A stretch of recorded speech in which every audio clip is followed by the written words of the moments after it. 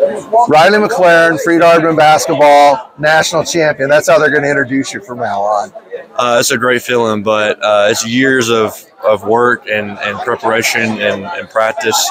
And like I said earlier, there's many people to thank that laid the groundwork to make this possible. Yeah. You know, four or five years ago, getting in, we were picked to finish 11th in our conference. Oh my goodness! And you look at where we're at now; it's just a product of the culture that Coach Stutz and many other people laid, and we just continue to build off of. And I couldn't be more proud to represent uh, Freed than uh, the way we did today.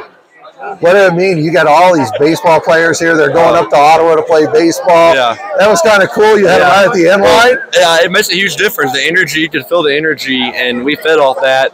And that's just the. Uh, that's just how Freed-Hardeman is supporting other teams all year. Uh, they were loud at all of our games, all of our home games, making a huge difference, and uh, we're thankful for them. But it was fun hearing Yeah, them it get on fun. bench, so that was great. And what you guys don't know, this is Ryley's birthday.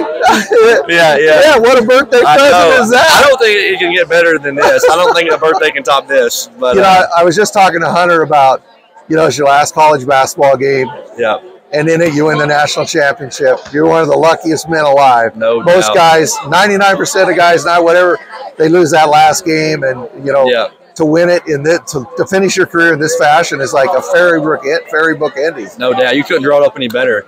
And I'm thankful he came back. Uh, that's what he came back to do is, you know, compete uh, and compete for national championship. But yeah, uh, you couldn't draw it up better. I mean, it was, it's amazing. Um, and to do it with the best teammates and coaches is even better. Langston was a heck of a team. Oh, they? give credit to them. I mean, we were playing behind the entire game, uh, just super physical and talented. Uh, and then at the end, we work away. But give credit to them. They're a really, really good team.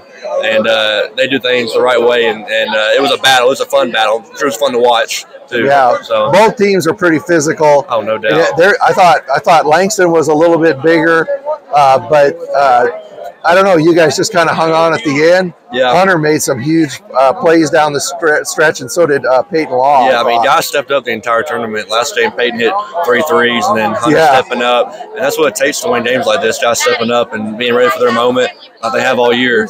So, uh, but yeah, they're, they're they're a really good team. But uh, we just made plays in the end. Ryley, I'm so glad I got a chance to meet sir. you this week and Yes, watch sir. you play. Thank you so much. Congratulations on the national championship. Thank you, yes, sir. Thanks. Yeah, appreciate it.